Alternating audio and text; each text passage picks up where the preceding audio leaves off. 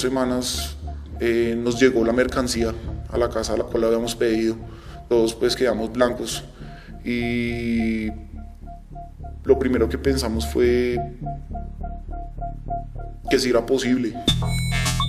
Emocionado y sorprendido, va descubriendo lo que había llegado por correo y entiende que puede obtener gratis todo lo que desea.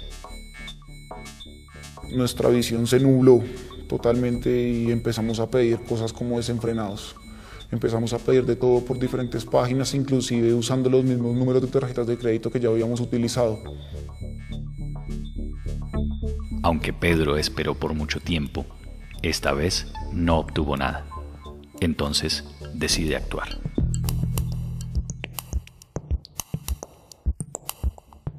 Los siguientes pedidos nunca llegaron.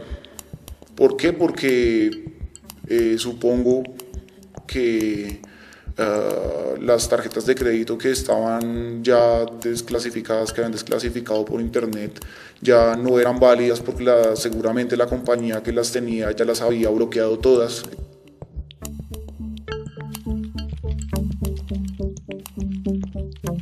Con sus conocimientos de informática, intenta obtener por sus propios medios otros números de tarjetas de crédito.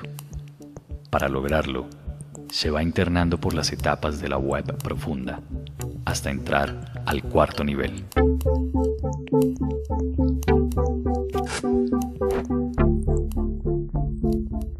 Tor es la base para entrar a este nivel, al cuarto nivel, aunque no es la única manera de, realizar el acceso, por decirlo así.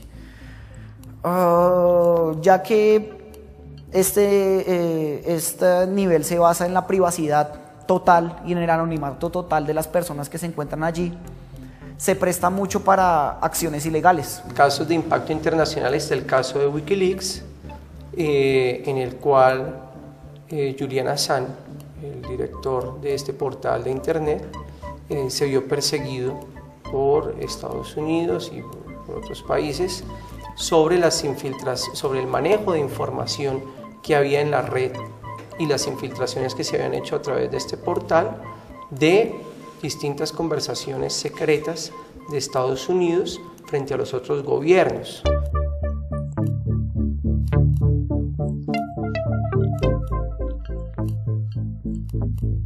Entra a la página de Visa y comete un acto ilegal al tratar de hackear los números de las tarjetas pero al no tener cuidado, tropieza.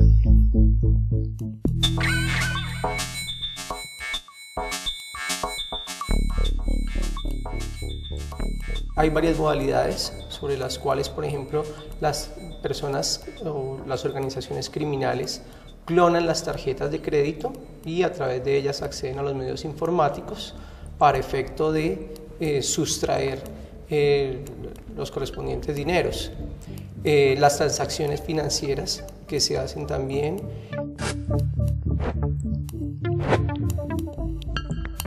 Todo eso hubiera quedado así nomás aquí sin, sin mayor contratiempo si no fuese porque eh, algún tiempo después estaba yo con mi madre en la casa y recibimos una llamada. Cuando yo recibí la llamada, sinceramente sentí que mi mundo se cayó, porque primero fue una llamada en inglés. Era una vaina y rara y yo escasamente escuchaba que hablaban de Pedro. Alcancé a entender algo de una demanda. Yo quedé supremamente asustada, yo no sabía en qué estaba metido mi hijo. Normalmente él estaba en su cuarto, ahí en el computador, pero pues uno ve al niño muy sano. No se imagina qué va a estar haciendo. Yo escuché eso, me senté, quedé realmente estupefacta Pedro, mire, acabo de recibir una llamada rarísima. Un tipo hablando en inglés, diciéndome que lo van a demandar a usted. A ver, ¿qué es lo que está pasando? Posiblemente era una demanda que estaba enfrentando en Estados Unidos por suplantación de identidad, un crimen bastante grave, pues hizo que se me creara una paranoia bastante fuerte frente a estos temas y entre varios de mis contactos pues empecé a averiguar, averiguar digamos, modificando el, el archivo Recycle Bin, que es el archivo que recicla las cosas en el computador, eh, lo que llama la gente la papelera de reciclaje. para crear algo así como un hoyo negro que chupa toda la información y destruye todo.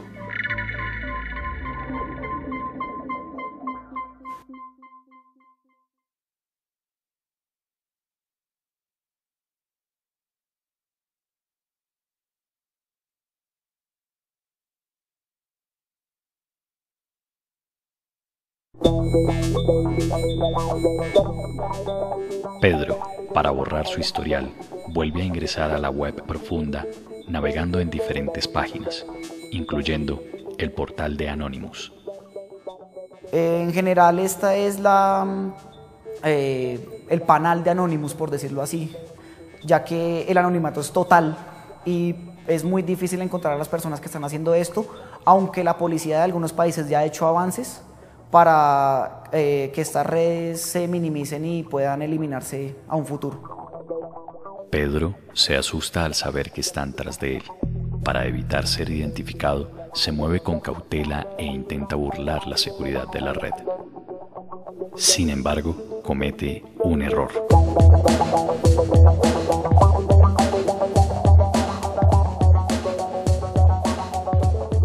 La judicialización de los menores se hace a través de jueces especiales para menores.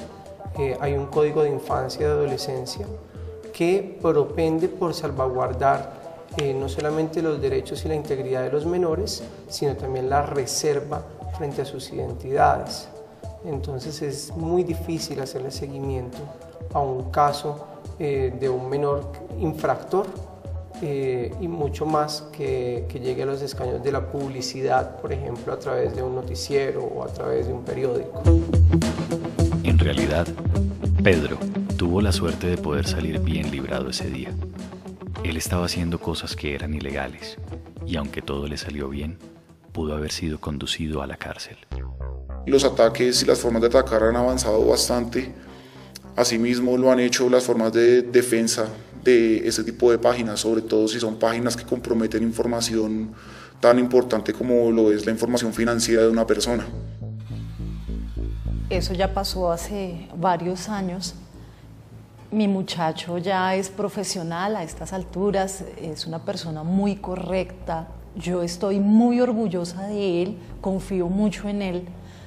Y pues fue una época dura, pero él pudo superar eso, él entendió cuál fue su error, él se dio cuenta que ese mundo era peligroso y que no debía seguir por ese lado. Me parece importante que a los muchachos se les dé una oportunidad de cambiar. Cuando son jóvenes, eh, pues pueden cometer muchos errores. Pero él es la prueba de que esas cosas pueden quedar atrás.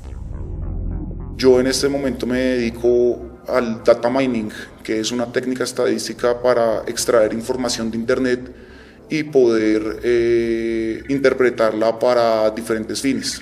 Esta es mi historia.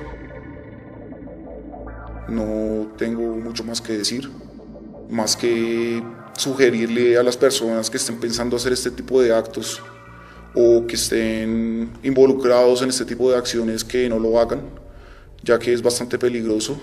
Ah, el hacker que, por ponerles un ejemplo, el hacker que, que entró a la NASA en el 2000, entre el 2000 y el 2001 para sacar información y fotografías del espacio que eran clasificadas de la NASA, uh, está enfrentando una condena de 70 años de cárcel por haberlo hecho y consideren que fue en el 2000, una época donde la seguridad informática no estaba tan desarrollada como lo está ahora. Así que eh, tengan cuidado si piensan hacer este tipo de actos y no confíen en las, personas en las personas en Internet que los hacen porque pueden que caigan con ellos eh, bajo el peso de la ley. Pedro, con solo 12 años, hizo una conexión ilegal a Internet. Se encontró con un hacker que le ayudó a comprar lo que él quería y luego él mismo trató de hackear las tarjetas de crédito. Hay que tener cuidado con nuestros actos, porque todos tienen consecuencias.